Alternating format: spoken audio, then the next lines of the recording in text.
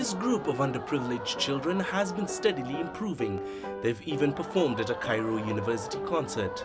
It's been a long journey for Sahab, who had to abandon traditional methods in order to reach out to the children. I challenged myself and I said something needs to be done with them.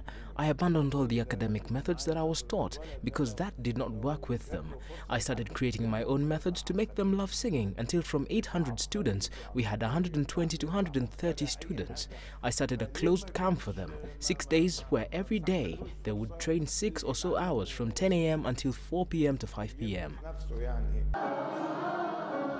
Sahab says the idea came to him after seeing the suffering of children begging or selling goods in the street.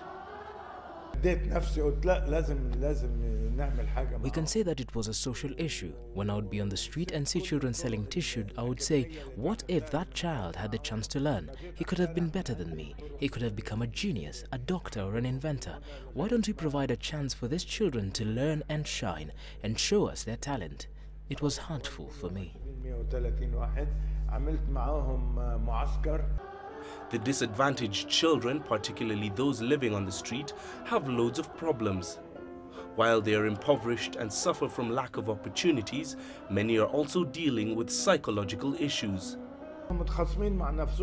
They were very unhappy with themselves and society. They were very depressed, and this is why I worked on two fronts the inner front, which includes their psychological state, and the musical front, which I taught them. No, I don't want to sing. I don't want to sing. No, you will sing and you will love singing. Until they all loved it and began singing, and even sang at a concert. The music workshops have had a profound impact on some of the students. Ramadan, who used to work on the streets of Cairo until he was scouted by a member of Sahab's team, says he hopes to continue singing. Now, one could really look at himself. It is a really nice thing. I feel deep inside that I will still be something nice. I feel that I will sing and make it. I'm sure I will sing. According to UNICEF, Egyptian NGOs estimate numbers of street children in the country to be in the tens of thousands.